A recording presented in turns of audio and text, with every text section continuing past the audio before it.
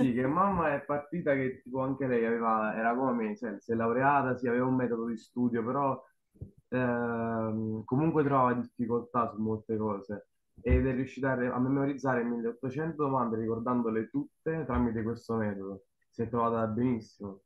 Cioè, ma anche io mi trovo stra... io sono strafelice di quello che ho fatto, cioè di aver intrapreso questa strada, perché mi sento ultra motivato, ultra gasato, Cioè mi diverto a fare le mappe, mi, mi diverto come se fosse un gioco, non è che pensi che stai studiando, ah che brutto, pensi che stai giocando, è molto bello.